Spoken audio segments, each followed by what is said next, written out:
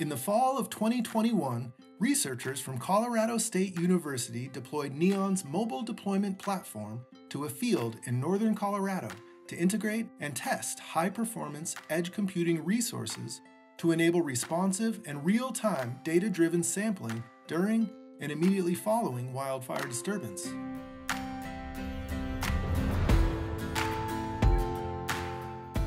Using Neon infrastructure in combination with thermal imaging cameras, edge enabled sensors, and advanced machine learning algorithms, researchers will collect data that will be used to model the impact of wildfires and climate change on ecosystem functioning to help guide land management decisions.